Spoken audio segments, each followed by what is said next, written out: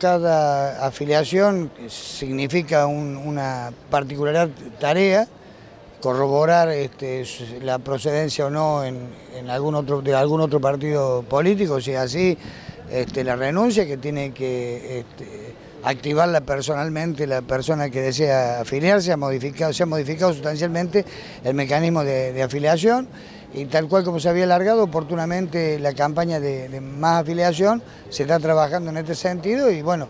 este, cada vez que se termina de completar un, paquete determinado de afiliaciones, se presentan a la, justicia federal con competencia electoral para que se incorporen el registro de electores partidarios. ¿Nos podría comentar más o menos cuánto cuántas han sido las incorporaciones? Es, un, es un primer grupo de alrededor de 600 afiliaciones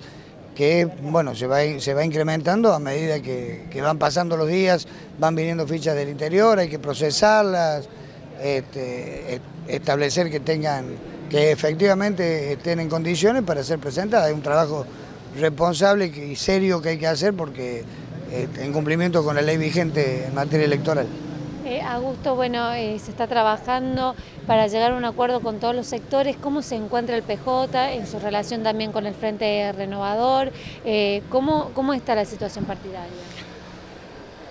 Bueno, el Partido Justicialista siempre fue una expresión política con voluntad y vocación frentista, con todos aquellos este, sectores que aspiran a complementarse en un proyecto que tiene como eje al justicialismo,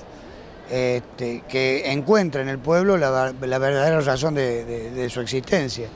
De tal manera que bienvenidos sean todos los sectores que eh, coincidan con el proyecto político que a su vez es en coincidencia con el trabajo que está realizando la, la gobernadora de la provincia de Catamarca, presidente del partido y conductora natural de todo este movimiento.